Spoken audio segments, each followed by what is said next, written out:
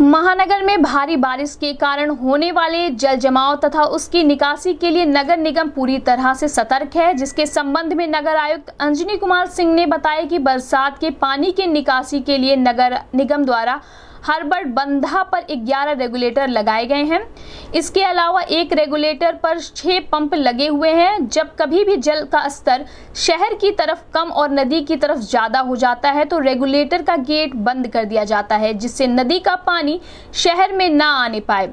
और जो शहर में बारिश का पानी जमा हो जाता है, उसको पंप के ज़रिए नदियों में गिराया जाता है। सभी रेगुलेटर पर जेई की ड्यूटी लगी हुई है। जेई मौके पर रहकर, देखकर या डिसाइड करते हैं कि कितने पंप चलाने की आवश्यकता है। नगर आयुक्त अंजनी कुमार सिंह ने कहा कि नगर निगम का लक्ष्य है कि शहर में बारिश का पानी जमा ना होने पाए और अगर किसी तरह बारिश के कारण जमा होता है तो उसे पंप के ज़रिए निकाल निकालकर शहरवासियों को जल जमाव से निजात दिलाएँगे।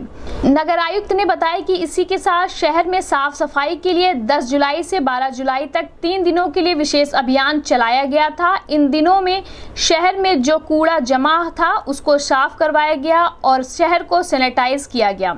महानगर में जेई और एंसिफलाइटिस के खतरे को देखते हुए हम लोग विशेष ध्यान दे रहे हैं। नगर आयुक्त ने बताया कि तीन सालों में एंसिफलाइटिस मरीजों में काफ़ी कमी आई है और कोशिश यही रहेगी कि एंसेफलाइटिस जड़ से समाप्त हो सके।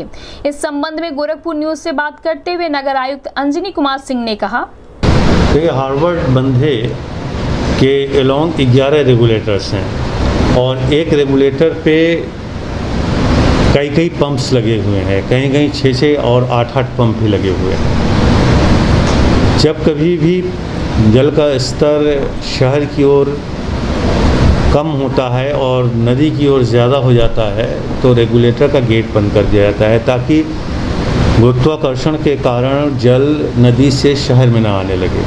और फिर शहर का जो जल इकट्ठा हुआ है बारिश का, उसको हम पंप आउट करते हैं। वहाँ रेगुलेटर पर लगातार अपने जेईस की ड्यूटी लगा रखी है। जेई मौके पर रहकर यह तय करता है कि कितने पंप चलाने की आवश्यकता है, तदनुसार पंप चलाता है।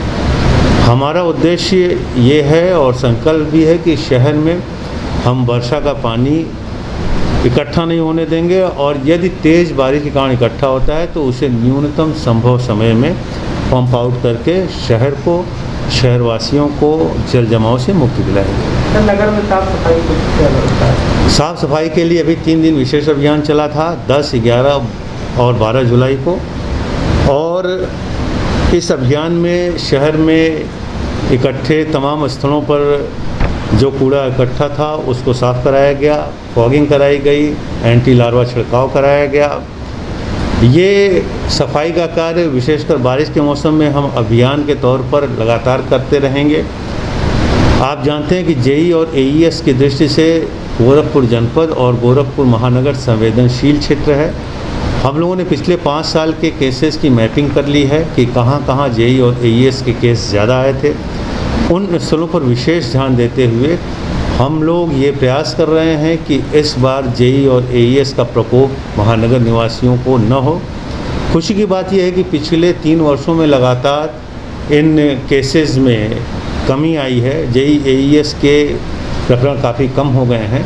कोशिश ये रहेगी कि इस वर्ष और कम हो उत्तरोत्तर इसमें कमी आती रहे।